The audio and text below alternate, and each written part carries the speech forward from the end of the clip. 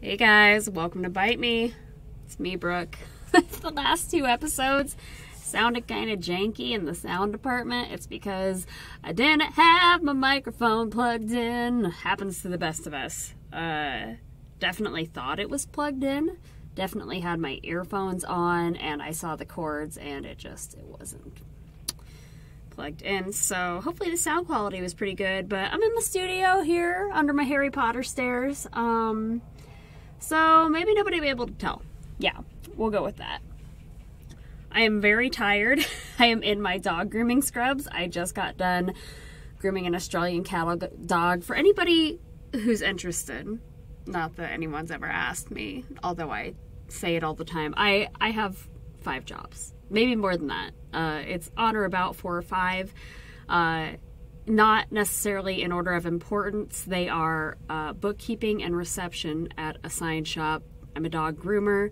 I also run a doggy daycare. I'm an Airbnb host. I do discount liquidation wholesaling. I sell books on Amazon, which, by the way, if you haven't followed my friend Bill, the Money Badger, uh, go follow him on TikTok. He'll tell you how to do the same. And uh, then I do have the podcast and I do the TikTok thing. So I guess you could say I'm kind of busy. I don't know what sleep is. Yeah, I haven't slept in like, I don't know, since I was 17. And even then, there was a brief period in my 20s where there was a lot of drugs going on, so there wasn't a lot of sleep going on then either. So, yeah. Anyways, let's get down to our episode. Um, today on Bite Me, we are going to discuss uh, season one, episode 16, The Truth About Beating Up the World. Um, I think we're all under under a lot of stress and mental exhaustion right now. I'm definitely feeling burnt out, probably for the aforementioned reasons of having all the jobs. I think that that's our legacy as millennials. That is what the boomers designed for us. That is what the late stage capitalism, you know, has come to be. Uh, we just don't reap any of the benefits that the prior generations had, um, nor could we because of the toppling effect you know, of, again what the boomers designed. Um, it's an interesting time to be alive right now. And, uh, you know, my dad, he was a real piece of shit parent. Both my parents were. And it's not to say that they were, they weren't drug addicts, they weren't alcoholics. There wasn't like, you know, anything like that going on, but they were just really, they had a lot of their own emotional trauma and mental trauma they were going through from their own parents and the silent generation. And my mother was a complete narcissist, and my dad was absolutely her enabler. And they didn't have a whole lot of nuggets of wisdom to impart.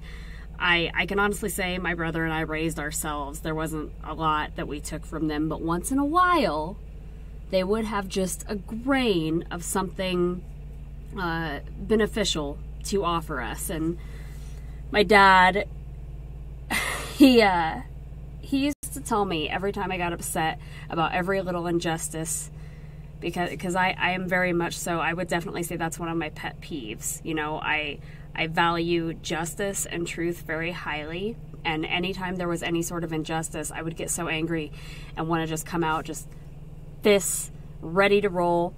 And he would tell me, he'd say, You can't beat up the world. You can't do it. You can't beat up the world.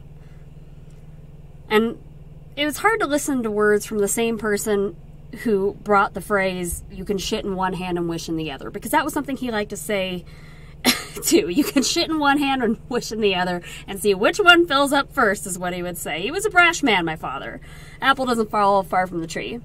Um, if you if you follow me, I think we can surmise that I'm I'm not one to typically advice from a cis straight white boomer male as my father was, but in those instances, you know, those phrases do stand to reason. He might have had a valid point.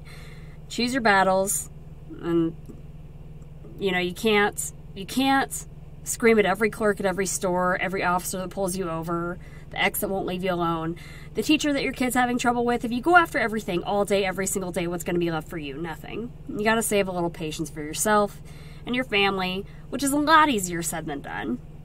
So, how do we do it? How do we not react to everything? In 2021, that's really tough, you know? Too much passive observing has bred inadvertent racism. Too much heat on the situation seems to have had a different reaction. And according to the Washington Post, millennials are the unluckiest generation in history. For us, Gen Zs and some Gen Xs, it's hard to pick those battles when there are indeed so very many, and so many affected. BLM, climate change, economic disaster, so much moral ambiguity caught up in the will to simply survive. It's no wonder the suicide rate is up. We're actually literally trying to beat up the world before it beats us up. It's hopeless. So, what then? What's the answer? That's a lot to take in, you know? We don't know yet.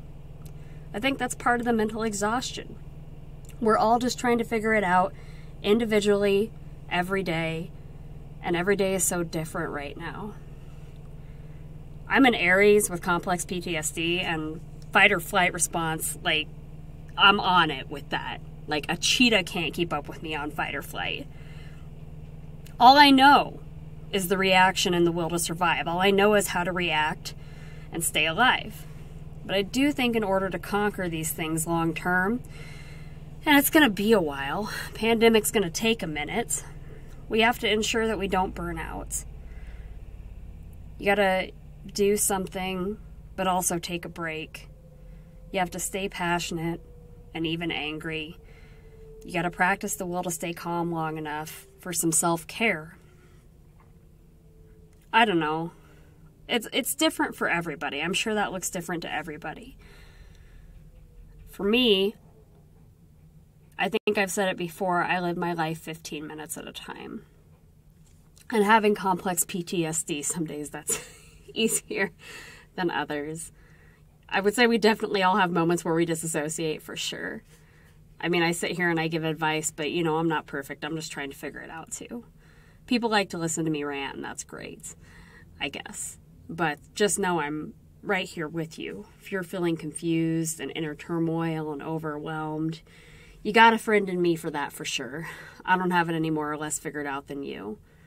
Um, but hopefully, some of what I'm saying provides some solace and some sort of path to follow in times of desperation. You can have a morning ritual, you can meditate, you can take a walk. Even if while you do so you're fuming angry, you know, take that instant to really be with yourself. Experience the emotion, but don't become it, and don't let it overtake you. I mean, remember, you're a millennial, you're too good for that shit. I think that's uh you can't beat up the world. Means that we're really trying to take all this on. Millennials, Gen Zs, Gen Xs. But we can't just do it individually. like I know it seems like a real rat race out there. You know, you really feel like you know, you, it comes down to wanting to control it you want to control something. People don't like uncertainty. I think that's a big part of like the stimulus thing.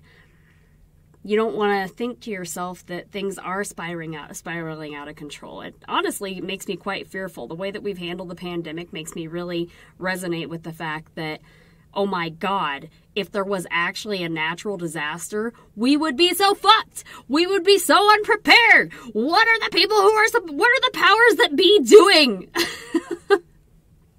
But that's why. That's why you have to take care of yourself individually, you know? Look out for yourself, look out for your own. Don't let it overtake you. Sometimes sometimes some of my followers tell me I'm too in touch with the world. And I think that that's true. You can't be too in touch with reality. You have to let a little of it go. Otherwise, you know, your your brain is going to start to ingest that and you're going to have some problems like just getting out of bed in the morning. So, Go forth, ye followers, knowing that you can't, in fact, beat up the world, but you can beat up yourself plenty when you look in the mirror. I don't know. don't do that either. um, for more information on how millennials are the unluckiest generation in history, you can check out the article in the the article in the Washington Post and uh, on the Muse uh, you can Google the Muse. They they have a nice little uh, editorial on how to have a 15 minute a day ritual, 15 minute a day change your life ritual by Alex Honeysett. Um, as always, please do visit the Truthful Groomer website. Uh, the link tree is in my bio on YouTube and on my TikTok. Check me out on Twitter, Insta, and not COVID, just a, just a tickle in my throat. Sorry. I hope it's not COVID. Um, go over to Patreon, check out the pack. We've got a private community forum there you can check out if you ever want to be a part of it and you can support me. Um, really grateful, speaking of 15 minutes at a time, grateful to have this with you, and we'll see you next time.